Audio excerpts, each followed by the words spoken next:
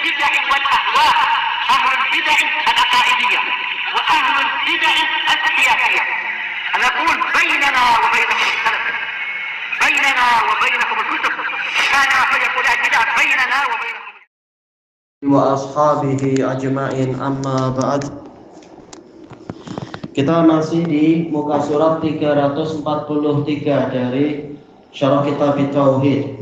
Malam pilih. Kenapa? Malam pilih. Eh, Malam. Oh yang minta. oh iya semalam kau Romania. Ayo, ya, so. Nama yang official. Qala Imam Ibnu Bas rahimahullahu taala Qala sya- eh, qala syarih yaitu beliau sendiri. Yaqulul muallifu rah- rahmatullahi alaih. Babu qawlihi jalla wa ala.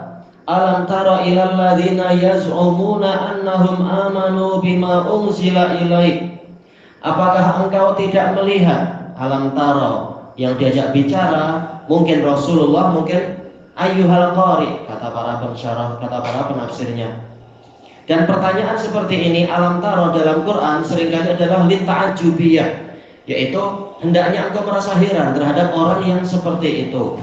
Apa itu orang-orang yang menyatakan mereka itu beriman kepada wahyu yang diturunkan kepadamu dan wahyu yang diturunkan kepada orang sebelummu yas'umun za'ama boleh jadi maknanya adalah qala atau maknanya dhanna atau maknanya takharrasa yaitu menyangka dan berdusta. Semua beberapa makna memungkinkan di sini. Menyatakan bahwasanya mereka telah beriman kepada Al-Qur'an dan kepada kitab-kitab sebelum itu. Yuriduna ayyatahakamu ila taghut. Mereka ingin berhukum kepada taghut. Sudah mengaku beriman pada kitab suci tahu-tahu malah berhukumnya kepada hukum manusia manusia yang tidak mengikuti Allah dan Rasulnya wa qad umiru ayyakfuru bih wawunya wawu haliyah padahal dalam keadaan mereka telah diperintahkan untuk mengingkari tauhid wa yuridu syaitanu ayyudillahum dalalan ba'ida. Dan setan ingin menyesatkan mereka kepada kesesatan yang jauh. Kalau Al-Quran adalah hudal linnas wa bayyinati minal huda wal furqan berarti yang menyelisihi itu dia akan mendapatkan dalalah. Kalau Quran adalah petunjuk untuk manusia dan penjelasan untuk petunjuk dan sebagai pemisah antara yang bermanfaat dan yang bermudarat dan seterusnya berarti yang mengikuti hukum yang lain dia akan tersesat dengan kesesatan yang jauh. Aradal mu'alifu bihadhi tarjumah. Si penulis dengan tajuk ini tajuknya diambil langsung dari apa ayat Al-Qur'an. Jadi panjang sekali ya untuk ukuran tajuknya itu bayana tahdhiri minat tahakumi ila ghairillah. Penjelasan yang berisi peringatan at-tahdhir yaitu al-ikhbar ma'at takhwif. Pengkhabaran yang disertai dengan penakut-nakutan. Yaitu jangan sampai orang-orang berhukum kepada selain hukum Allah. Wa anna wajiba at-tahakumu ila syariatillah. Dan beliau ingin menjelaskan bahwasanya yang wajib adalah berhukum kepada syariat Allah fi kullil umur di semua urusan.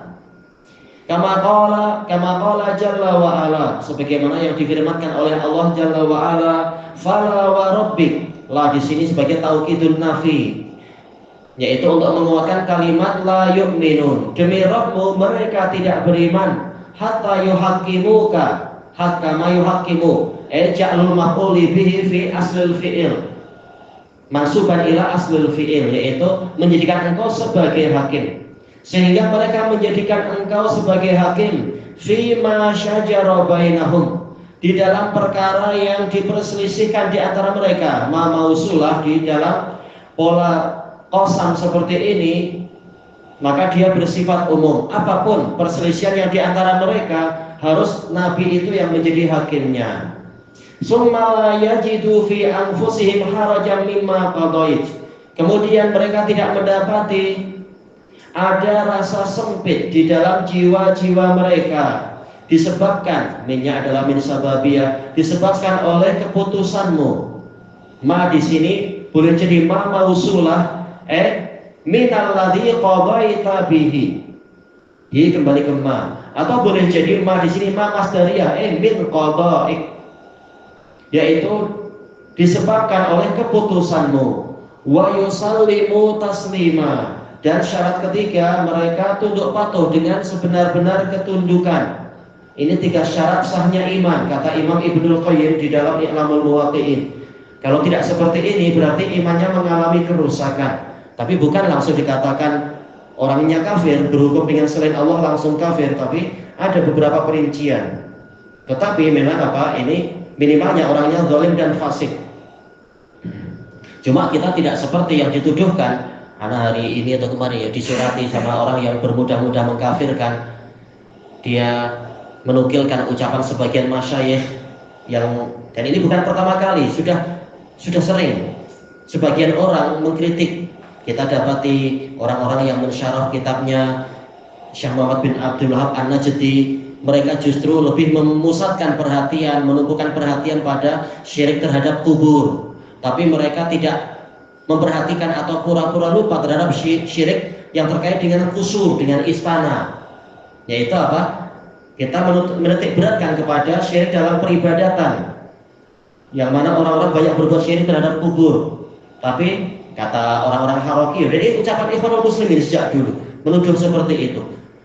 Yaitu ahlu sunnah tidak memperhatikan kesyirikan terhadap kusur, yaitu istana-istana yang membuat dustur-dustur undang-undang Bukan tidak memperhatikan, semuanya sudah di, disyarah dengan baik. Cuma kami tidak bermudah-mudah mengkafirkan orang seperti gaya kalian, wahai orang-orang yang mengikuti gaya ikhwanul muslimin. Baik. Kitabnya sama, kitabnya Imam Najdi, tetapi mereka ingin memasukkan fikrah pemikiran takfir ke dalamnya. Padahal penjelasannya rinci, bukan bukan kita menyepelekan masalah syirik-syirik yang terkait dengan undang-undang, ada penjelasan secara rinci dan ini bukan ilmu yang baru. Telah diriwayatkan dengan sanad yang sahih oleh Imam Ibnu Ibnu Jarir atau bari bahwasanya bapak lam yahkum bima anzalallahu fa ulaika humul kafirun. Ibnu Abbas sudah mengatakan yaitu kufrun duna kufur. Tapi orang ikhwanul muslimin dan orang-orang yang mudah mengkafirkan memang mereka ingin menggulingkan pemerintahan dengan alasan ah pemerintahnya kafir, berhukum dengan selain hukum Allah. Padahal ada perinciannya. Baik. Maka telah dijelaskan di sini iman rusak. Tapi bukan berarti iman rusak berarti orangnya langsung kafir karena kerusakan sendiri bertingkat-tingkat. Penggunaan hadis boleh menjadikan ajaran sesat. Oh itu memang sering. Kalau hadis doifnya itu tidak ada penguat, nah itu rata-rata memang bukan dari taufik Allah sehingga ya memang jadi aneh-aneh isi hadis doif itu.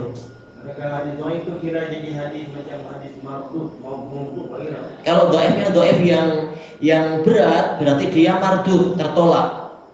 Walaupun mungkin ada yang sampai maudhu, ada yang tidak sampai maudhu, tergantung levelnya. Hadis yang diterima hadis sahih dan hadis hasan. Sahih, hasan, hasan li gitu-gitu yang mungkin untuk dikuatkan. Seperti yang dijelaskan oleh Imam Syafi'i dalam Ar-Risalah, hadis yang doif boleh dikuatkan dengan ijma atau dikuatkan dengan apa itu fatwa sahabi yang tidak diselisih oleh sahabat yang lain. Lihat ada penguatan tidak? Kalau ada penguatan, nah berarti termasuk Hasan li termasuk Hasan juga berarti ya. Oh harus iya. Kalau tidak, maka rata-rata memang menimbulkan keanehan. Kalau itu baik, niscaya ajaran itu diabadikan oleh Allah Taala. Tapi kita sekarang ini mengetahui suatu hadis itu hadis sahih atau hadis baik berdasarkan kata-kata ulama? Itu bagi yang tidak meneliti, yang meneliti ya meneliti. Penelitian itu mungkin terhad. Ya, bertakwa semampunya, berijtihad semampunya. Baik. Kalau kita punya kemampuan karena sudah belajar mustalah dari awal sampai akhir, alhamdulillah sudah boleh menilai dengan kedalamannya, melihat penyakit-penyakit hadis, nah itu hasilnya insya Allah akan lebih kuat, lebih tajam, lebih kukuh dan seterusnya. Nah, yang tidak mampu paling tidak dia menerima berita sikoh dari ulama terpercaya yang sudah meneliti hadis yang terbukti tidak bermudah-mudah tapi juga tidak terlalu apa istilahnya itu ekstrim karena ada beberapa yang ekstrim hadis yang Hasan di Ghairi ditolak seperti uh, siapa itu Amr bin Abdul Mun'im tak ada hadis Hasan di Ghairi langsung ditolak walaupun ada penguat. Nah, ini tak betul. Oh jelas, oh, syadid sangat. Bukan dia. Si Asi memang sananya lain. Tapi kita sekarang kita nak kita biografi itu kena tahu, belajar biografi. jelas. ya. Makanya di pondok jelas kami diajari dan mem- memperhatikan masalah rawi-rawi, mengenal para rawi dan seterusnya sehingga tidak senang ditipu orang. Kalau tak kenal ya memang bingung kita. Macam matruk, matruk ya. Majhul dengan matruk. Kita tidak nanti orang hadis kira kalau matruk, majhul, rawi matruk, majhul kira lain. Kalau sekedar majhul, majhul hal misalkan seperti ibu dari siapa? Ibu dari Abdul Hasan Al Basri, Hasan bin Abil Hasan Al Basri, ibunya namanya Khairah. Beliau majhulah. Ini boleh untuk penguat. Tapi kalau yang sampai matruk seperti Amr bin Shimr misalkan, nah itu tak boleh dipakai memang. Jadi lihat, lihat keadaannya. Memang tidak dikenali ya. Kalau tidak dikenali dalam artian majhul hal, punya murid dua atau lebih, ini boleh untuk menguatkan. Kalau betul-betul hanya satu saja, rata-rata ulama tidak menguatkan dia karena bagaimana di zaman itu yang orang mencari hadis sejauh-jauhnya, tahu-tahu murid hanya satu, menunjukkan memang dia tidak terpercaya sama sekali. Baik. Kita lanjutkan pembahasannya. Kama qala wa kama qala subhanah wa anihkum bainahum bima anzalallah. An di sini tafsiriyah. Allah berfirman kepada nabinya yaitu tegakkan hukum di antara mereka, hukum eh iqdi, yaitu berikan keputusan di antara mereka dengan apa yang Allah turunkan. Ini bihnya terhapus. Bima anzalahullah yaitu nabi saja walaupun akalnya sempurna disuruh menghakimi itu dengan wahyu. Mungkin secara nas atau mungkin secara istimbat dengan taufik Allah dan seterusnya. Bagaimana dengan yang bukan nabi lebih layak lagi untuk segalanya hukumnya itu mengikuti wahyu wa kama qala azza wa jal wa man lam yahkum bima anzalallahu faulaika humul kafirun Barang siapa tidak berhukum dengan apa yang Allah turunkan, maka mereka itu adalah orang-orang kafir. Ayat ini turun terkait dengan orang-orang Yahudi. Tapi hukumnya bersifat umum, cuma kafir di sini bukan bukan apa? Kafir murtad. Tapi apa? Kufrun duna kufur kata Ibnu Abbas, kata Atok dan yang lainnya. Wa man lam yahkum bima anzalallahu faulaika humudz zalimun. Barang siapa tidak menghukumi dengan apa yang Allah turunkan, maka mereka itu adalah orang yang zalim. Ini juga sama zulmun duna zulm. Kezaliman tetapi tidak sebesar uh, zulmun akbar. Wa man lam yahkum bima anzalallahu faulaika humul fasiqun. Iya, dijelaskan oleh Ibnu Hazm rahimahullah ayat yang kedua ini turun terkait dengan orang Nasara kalau tak salah ya. Ayat yang terakhir ini terkait dengan umat ini. Tetapi hukumnya bersifat umum, berlaku untuk kita semua. Cuma memang apa bertingkat-tingkat levelnya. Hadhil ayat wa ma jaa fi maknaha ayat-ayat ini dan apa saja yang datang semakna dengannya kulluha semuanya dalatun ala wujubi tahakumi ila syariatillah semuanya menunjukkan tentang wajibnya berhukum kepada syariat Allah cuma yang sering dilalaikan oleh orang-orang pergerakan adalah mereka menyangka atau atau memang pura-pura tidak tahu syariat itu eh, berhukum itu seakan-akan hanya terkait dengan hukum potong tangan, hukum rajam, hukum sebat, hukum penjara. Mereka lupa bahwasanya sunnah Nabi itu juga hukum. Apa hukum? Hukum apa bernyanyi, apa hukum gambar, apa hukum ini, hukum itu. Itu juga syariat Allah. Nah, banyak mereka yang lupa tentang itu. Banyak membuat bid'ah-bid'ah atau maksiat-maksiat dan seterusnya. Baik. Mereka sendiri banyak melupakan, tapi menuduh ahlu sunnah lupa, lupa masalah syirik yang itu, sibuk hanya syirik masalah kubur. Kita tidak lupa, tetapi semuanya diletakkan pada tempatnya. Kalau wa annahu la yajuzu tahakumu ila ghairillah. Dan semuanya menunjukkan bahwasanya tidak boleh berhukum kepada selain hukum Allah. Baik, tahakama yaitu antara fa'il dengan maf'ul sama-sama yashtarik fil fi'il. Semuanya berhukum. Baik. Tidak boleh berhukum kepada selain Allah. kainan mankan siapa pun dia sehebat apa pun dia dengan sebab ini maka para ulama mengkafirkan Genghis Khan yang dia dohirnya masuk Islam tapi pola Islamnya adalah Islamnya apa? E, mengikuti akidah orang-orang Syiah Rafidah. Nah para fuqaha goncang berarti dia muslim atau kafir? Kata Syekhul Islam kalau dia muslim kenapa dia membuat undang-undang Ilyasu menggabungkan antara hukum yang ada dalam Taurat, Injil dan Quran. Kalau emang dia muslim, dia akan mencukupkan dengan Al-Qur'an. Kenapa mencari hukum yang yang sudah mansuh atau sudah dirubah-rubah dan sebagainya. Sementara Allah mengatakan apa hukum jahiliyah yabghun? Apakah mereka menginginkan hukum jahiliyah? Jelas Taurat dan Injil itu sebelum sebelum Quran, ketika Quran sudah datang, maka masa sebelumnya dikatakan masa jahiliyah. Syariat Taurat dan Injil sudah dimansuh atau bahkan memang apa dirubah-rubah oleh kaumnya sendiri tidak layak kemudian masih memakai hukum yang sudah dimansuh oleh Allah Taala. Nah, dengan itu Jengsan dikafirkan oleh para ulama. Fa'aradal mu'allifu bihadhihi tarjumah si penulis rahimahullah menginginkan dengan dengan tajuk ini bayana hadzal asasil azim menjelaskan dasar yang agung ini wal asla al mujma' alaih menjelaskan bayana al asli gitu kan berarti ya. Wal asli mujma'i alaih menjelaskan prinsip yang telah disepakati. Wa bayyana rabbuna subhanahu fi hadhil ayat Rabb kita subhanahu menerangkan di dalam ayat ini anna ba'dhan nas yadda'il Islam. Bahwasanya sebagian orang mengklaim dirinya itu muslim. Wa yadda'il iman mendakwakan dirinya itu beriman. Wa huwa laisa kadzalik padahal dia tidak demikian. Ia masih mengikuti apa? Beriman pada tauhid. Kal munafikin seperti para munafikun yang sengaja berhukum kepada selain hukum eh, berhukum kepada selain hukum Allah tanpa ada udur dan apa. Ditanyakan kepada para ulama apa hukum para penguasa-penguasa itu? Nah, para ulama mengatakan kalian tidak tahu boleh jadi. Apalagi di zaman sekarang orang yang naik itu pasti langsung ditelepon. Ada hot, hotline dengan apa yang di yang di mana itu? Washington atau di mana atau langsung ditelepon oleh oleh pihak Freemasonry dan lain-lain. Nah, mereka dikendalikan dari belakang. Maka mereka sering kali terpaksa. Jelas mereka fasik menggunakan selain selain hukum Allah. Tapi tidak boleh langsung dikafirkan karena mereka sering kali adalah terpaksa.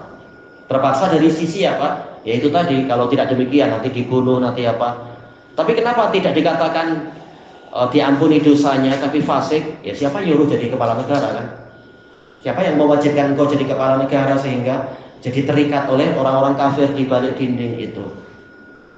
Cuma kita tidak boleh bermudah-mudah mengkafirkan karena boleh jadi mereka yaitu tadi dipaksa oleh oleh negara-negara kufar untuk membuat hukum ini itu yang nampak merdeka saja yang nampak betul-betul merdeka yaitu Brunei saja tak mampu bertahan lama. Hukum LGBT harusnya orangnya dihukum mati, tapi ditekan oleh orang kafir eh, lama-lama melemah juga. Baik. Bukan berarti bebas dosa, tetapi tidak boleh dikafirkan. Orangnya sesuai dengan kadar dosanya, fasik mungkin atau zalim. Tapi tidak bermudah-mudah dikatakan oh kafir karena dia ridho. Dari mana anda tahu dia ridho di dalam hatinya? Ridho dengan hukum itu. Baik. Fa'idha ja'atil hawadith maka jika ada peristiwa-peristiwa yang datang waja'atil khusumat ada persengketaan perbalahan yang tiba talabat tahakuma ila ghairillah. Orang munafik akan meminta agar berhukum itu kepada selain hukum Allah. Baik, terutama orang-orang Almania, orang-orang apa itu sekuler, Almania memang kafir, mereka kafir. Dengan sukarela, memang mereka menghina hukum Islam. Ini kafir. Kalau sampai menghina hukum Islam atau mengatakan hukum yang lain itu setara dengan hukum Islam, ini jelas kafirnya. Kalau tidak ada yang memaksa dia mengucapkan itu. Faqal yuriduna ayyataha kamu ila tauhid. Allah mengatakan mereka ingin berhukum kepada tauhid. Wa tauhid kullu ma ubida min dunillah. Tauhid adalah segala sesuatu yang disembah selain Allah. Menurut definisi siapa Imam Malik ini ya dohirnya. Wa kullu man hakama bi ghairi ma anzalallah dan juga kullu man setiap orang yang berhukum dengan selain hukum yang Allah turunkan. Ini jelas sesuai dengan dohir ayat. An amdin itu dengan sengaja, bukan dipaksa dan yang semacam itu. Bukan tidak sengaja, yaitu ijtihad keliru tanpa disengaja misalkan. Wa an hawa karena mengikuti hawa nafsu. Fahuwa tauhid, maka dia adalah tauhid. Ilahuna wallahu a'lam.